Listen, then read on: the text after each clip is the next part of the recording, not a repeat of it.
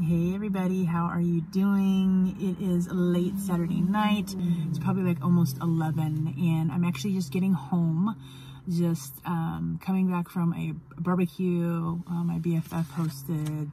And it was an amazing barbecue. It was so fun. Um, it was so good to see everybody and just chill and vibe. Um, unfortunately, I didn't get to eat because of my Lenten promise. Um, I'm abstaining from anything that's not just vegetables and fruits and, and grains. And the meal that I, I was going to be able to eat actually had something in it that I was allergic to, so I didn't get to, to taste it. But I did have some amazing, refreshing um, water, filtered water, yes. So um, I was good. I was good to go that way. Um, but I am a little hungry, so I'm probably going to have um, a salad now.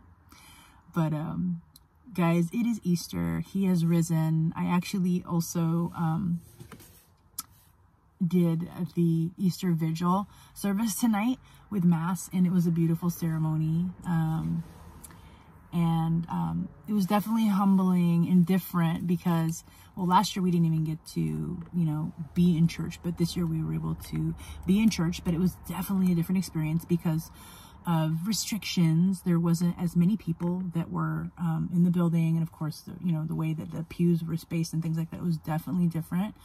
Um, but it was beautiful to be able to come together as a community and and celebrate God and um, you know be together and and just see the hope that was brimming um, in everyone's faces and how um, impactful that was. It's definitely um, a beautiful step forward that we're all moving in or moving towards this year. So um, it was beautiful to see that and it was good. Um, definitely good. I can't wait for tomorrow. Tomorrow's going to be an amazing day, a beautiful celebration of God rising and just being able to spend time with family and friends. And I'm looking so forward to it. Um, and tomorrow will actually be the commencement of my um, Lenten challenge, my Lenten journey. Um, and I just wanted to briefly tonight, just quickly thank um, everybody who um, provided feedback and um, connected with me um, based on content that I posted that resonated with you, that helped you in some way, or that you enjoyed. I'm so blessed to have been able to be um, bold enough um, to step into doing these videos every day.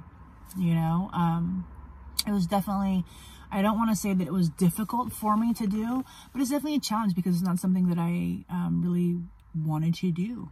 You know, I, I, don't really post a lot of videos um, on my um, my social media platforms, especially on specific content that um, daily just came to me that resonated with me, things that I feel um, are important and, and, and worthy of sharing and um, and just you know giving people um, my take of it and and my my feedback, if you will. So um, thank you for hanging in there with me through this this journey and spending time to listen. If you did get a chance to listen to um, any of my videos.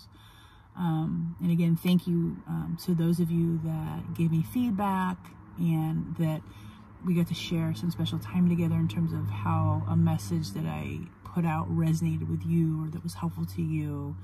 Um, it was definitely a beautiful experience and I would do it again in a heartbeat. Um, I think honestly it's been a great experience in terms of being able to be more comfortable putting out that kind of content, you know, and, and stepping into yes, you know, this is how I feel, and I'm going to share this on my platform with others, and maybe it will be helpful to them, um, which is something that God's called me to. So, um, thank you for supporting me and allowing me to do that. Anyways, guys, um,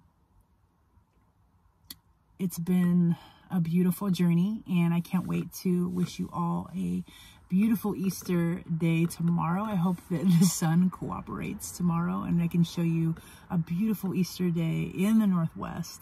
If not, you will see how beautiful the Northwest is anyway, even if the sun and the blue skies don't pop out.